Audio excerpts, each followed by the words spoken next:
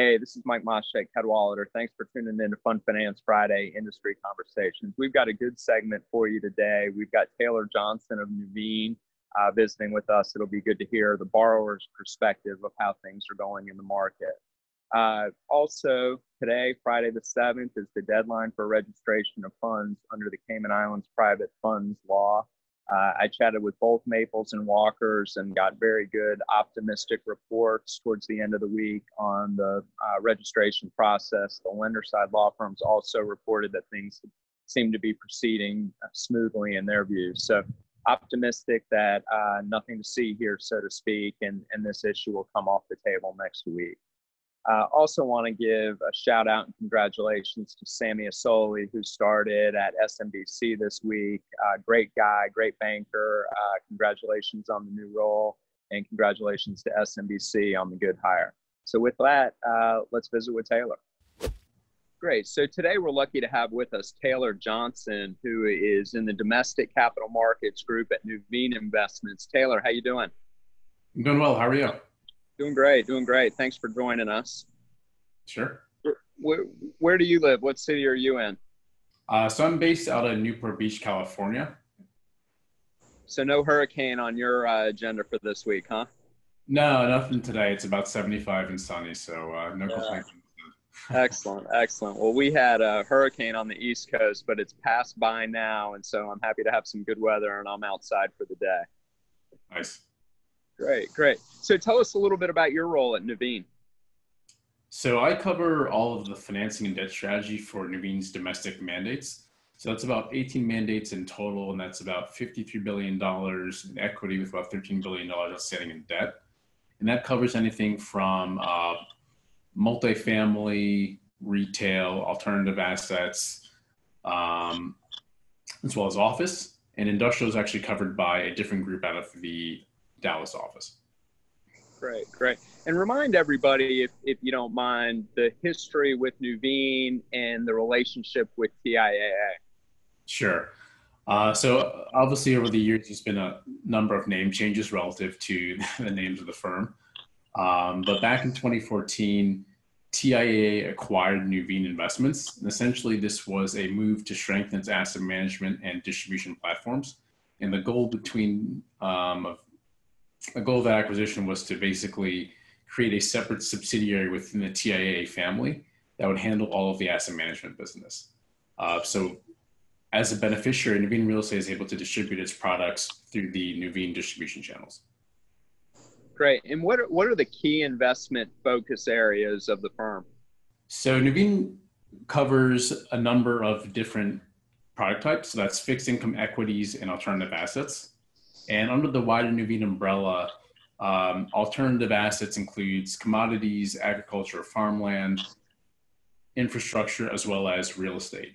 And with real estate, uh, Real Estate is focused on the major food groups, which are multifamily, industrial, retail, office, and then other alternatives, which would include things like hospitality, um, senior housing, single family residential, and self storage so switching to fund finance a little bit you guys do use a lot of subscription facilities. Tell us about how you're using them to create value for your funds and for your investors.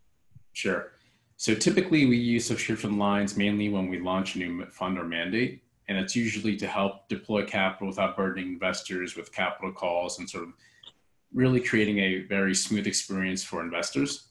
Um, additionally we use it as a way to kind of delay starting the return clock as it relates to investments and sort of the accounting side of things. Um, also, we use it to manage liquidity and help reduce cash drag. So, at any given time, if we're preparing for an acquisition, we're not sitting on cash. Um, or alternatively, in a market like this where markets are sort of up in the air and there's a bit of volatility, it's a very ex- inexpensive alternative to typical project level debt. Um, and we've also been using it recently to bridge to kind of times where the market's open back up, such as dealing with retail maturities. And what, what about letters of credit? Are you guys a big consumer of LCs? So we've used them uh, a bit in the past when there is some type of need for a you know TI or LC reserve. More recently, though, we haven't been using those uh, just because there hasn't been a need, but certainly familiar with that product. Yeah. And what about NAV facilities? Are you are you using any leverage at the fund level?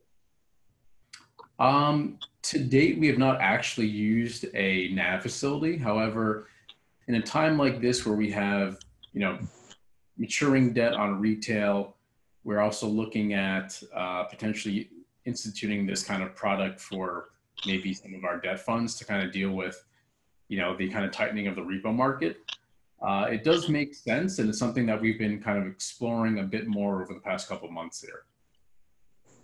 Has the COVID disruption created any challenges for any of your existing facilities or changed the way you've used the facilities? Yeah, so definitely I'd say just with the COVID 19 narrative, one of the things we've been dealing with for some of our existing facilities is the entire syndication kind of expansion process is a little bit tougher. So as we look to kind of increase our availability on a going forward basis, we've had a number of constraints from the banking sector. Uh, the first of that is duration is a bit harder to achieve. You know, most terms are kind of capping out at the 364 day facility mark. Uh, durations up to, you know, two or three years are a little bit harder to find. Additionally, every single bank is very focused on ancillary business. So apart from just the facility itself, every bank is looking for additional deposits, or um, other fee generating lines. Um, and then lastly, I'd say the banking sector is really focused on clients that have, you know, immediate needs. So the concept of having availability for, you know, things that are maybe more opportunistic or speculative is kind of sort of by the wayside. Uh, the banks have been very focused on you having, you know, upcoming maturities or portfolios that you're actively looking at. Um, very concrete need, not so much um, things that are a bit more speculative. In terms of how this has affected our use, given that we put in most of these facilities last year, you know, with the decline in the one month LIBOR rate, the facilities are very accretive. So we're trying to utilize those as much as possible, just being the cheapest source of capital. And then I'd say additionally, we've been utilizing them for bridging to other, hopefully better debt markets or paying off existing debt for assets that you know maybe the market's a little bit tougher for retail as an example um, so that's generally how that's changed over time are there any financing needs where you've had trouble finding a lender in this environment um, i'd say so back to the sort of facility and sort of the unsecured side of things definitely we are struggling to get longer term than you know 364 day from the typical banks and that's on a term loan basis or unsecured um, as you can imagine, mall debt is challenging as well. So dealing with any type of maturity in the mall space um, has been tough with pretty much the you know freezing of the CMBS markets.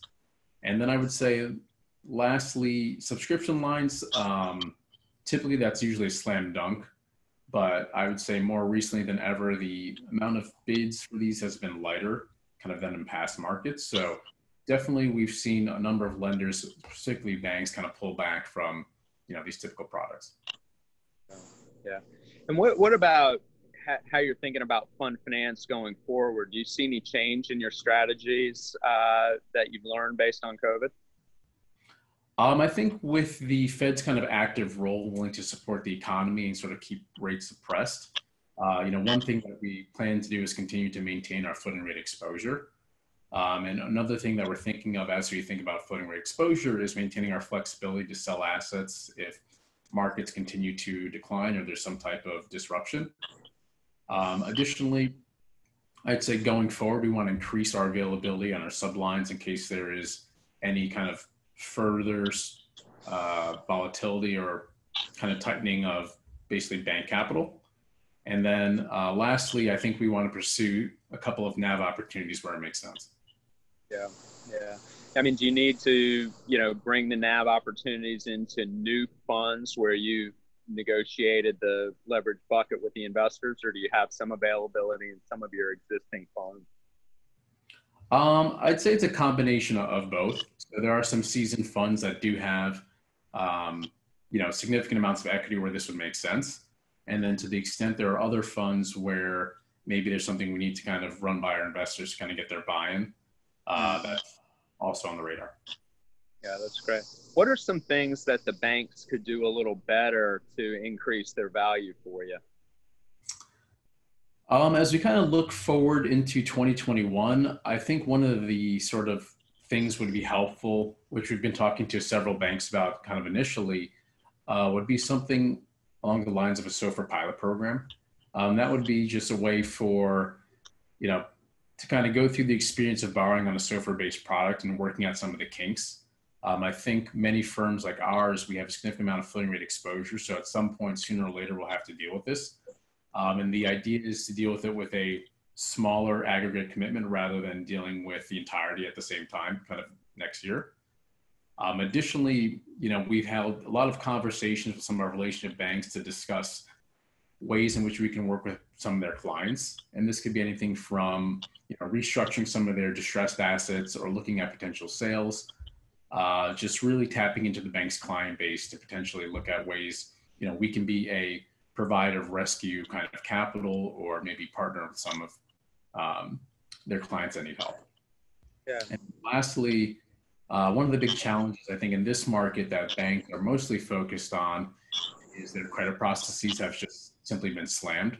So getting things through credit and approvals, uh, credit's been playing a large role today in, in the bank market.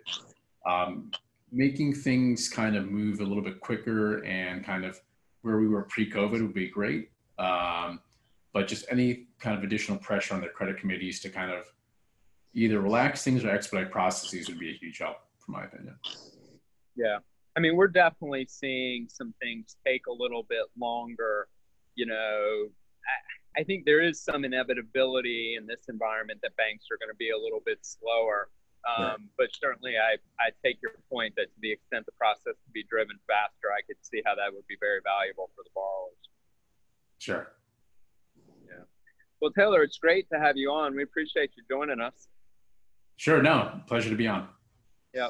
Great. Well, hopefully we'll get you involved here in some of the FFA events that are coming up. I think the uh, the market would benefit from hearing a little bit more from Nuveen. Yeah, that'd be great. Great. Good. Thanks so much for joining us. Well, thanks for dialing into this week's Fund Finance Friday industry conversations. I'm going to take off uh, next week for a week of vacation, but uh, we'll, we'll have a good episode for you. And I look forward to catching up with you later in the month. If we can do anything to make these sessions more productive for you, please send me an email. Thanks.